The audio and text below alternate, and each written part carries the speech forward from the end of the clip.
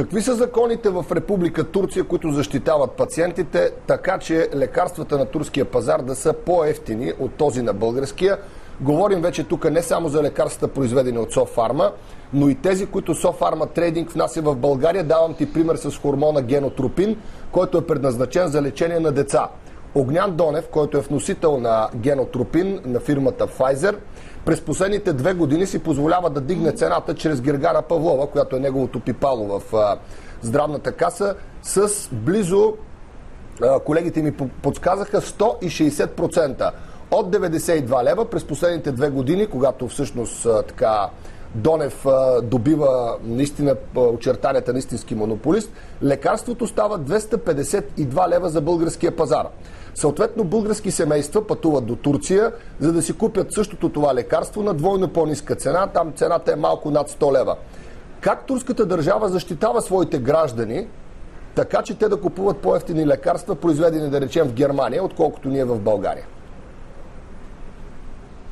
Значи всичко започна с идването на власт на настоящата управляваща партия на справедливостта и развитието. Това е ясно консервативната происламистка партия, начало с нейния лидер е, и премиер Реджеп Тайп Ердоган е, които идвайки на власт през 2003 година стартираха една много амбициозна здравна програма за трансформация на цялата здравна система, като част от а, цялостната здравна реформа, която по-рано предишни правителства не бяха извършвали от 30 години, т.е. никой не се беше осмелил да го направи по-рано.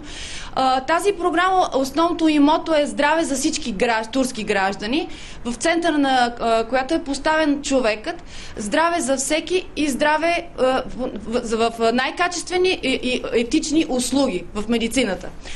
Общо взето тази програма се ползва и с подкрепата на Световната банка, и а, се поддържа и от Европейския съюз като част от реформите за евроинтеграцията на Турция към а, Европейския съюз. А, но а, изключително важно е тук да отбележим какви са резултатите. Иначе много и всякакви амбициозни Иначе добре звучи, добре звучи. Да. Реално на практика какво се е случило? Да, разбира се. Значи, реално, колкото и да не ви се струва, вероятно, това са факти, е, изнесени от Статистически институт, от е, 2003 насам, т.е. рамките на 6-7 години, е, защото здравната реформа беше обявено, че е приключила с успех в края на 2008 година, е, цените на лекарствата при ценообразуването държавата е намалила общо 250 пъти.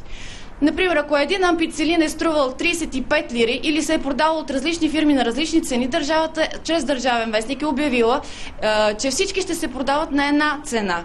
И тези, които са продавали скъпо, са издърпали цените надолу, тези, които са продавали по-низко, са направили още малко дъмпинг, за да бъдат конкурентни на пазар. Тоест, държавата слага повечето лекарства, почти няма лекарства, които да не присъстват в позитивния списък. Uh-huh. А, например, има а, социално слаби хора, на които се издават зелени карти и те имат право да бъдат лекувани навсякъде безплатно. Един обикновен турски гражданин, аз съм двоен български и турски граждани, така. мога да ползвам а, здравните услуги и в Турция и на България, но предпочитам тези в Турция за сега. Защо? Защото аз имам право, като социално осигурена тук, чрез съпруга ми при това, забележете, да вляза във всяка една частна болница и само срещу скромната сума от 15-20 лири да бъда приета и прегледана. А, лекарствата, които ще ми бъдат изписани, аз ще купя от която и да е турска аптека с 30% намаление. Най-малко. А, а някои лекарства изцяло, както казах, влизат в позитивния списък и не се изплащат. А, тези, които са на Софарма, например, от този род лекарства, като за спин, за онкоболни и така нататък, защо се продават без наценка и защо аптекарите така. и в аптекарската мрежа в Турция не са заинтересовани да го продават и не е толкова популярно, ще обясня, защото а, те нямат наценка от 25% и т.е. никаква печалба за аптекаря.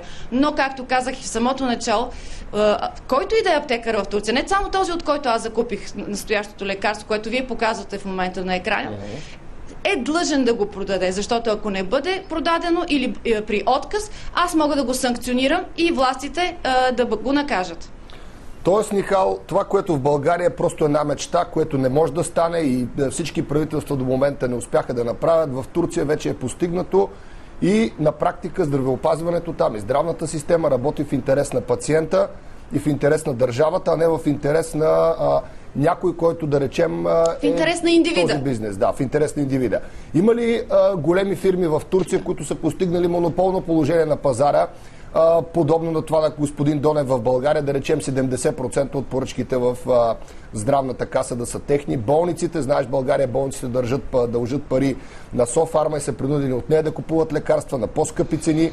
Гергана Павлова децентрализира търговете преди две години. Продължават се още да твърдат български политици, че това било в интерес на хората и на здравеопазването. Това се оказа точно обратното. Цените скочиха драстично през последните години. А, има ли в Турция подобни рецидиви, подобно поведение от страна на а, държавата? И частниците. Значи, беше така до 2002 година и а, статистиката също сочи, според социологическите изследвания направени тук, че хората, запитани дали са доволни от тази здравна реформа, която правителството вече е с трети мандат в Турция, 2011 последно спечелиха за трети път изборите, убедително при това, 73% от турските граждани са заявили, че са доволни. А този процент се измерва на 33% 2002 година, т.е. преди настоящото правителство да дойде на власт. Но, както обясних преди малко, с издърпването и уеднаквяването на всички цени на определени лекарства, когато държавата казва на, лека... на производителите на лекарства, аз купувам това лекарство на тази цена, ако вие го произвеждате и го продавате на по-скъпо, вие няма да получите това, което е отгоре. И затова а, цените бяха намалени драстично надолу и това всъщност а, а, до голяма степен защити както турските граждани, така и държ... това е рефлекс на държавата в нейни интерес. И предизвика съответно недоволството на много лекари, болници, частни, които работят и на частна практика и на държавна, да кажем, защото и това беше пресечено. Беше казано, или сте на държавна на практика или в частен кабинет работите.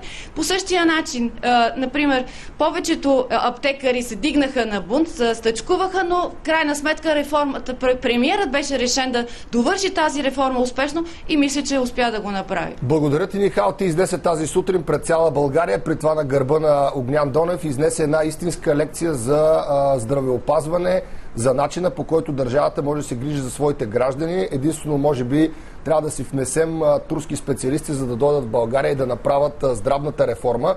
Нещо, което отдавна българските граждани, които са членове на Европейския съюз, разбраха и те ходят на лекарствен и здравен туризъм в съседната ни държава.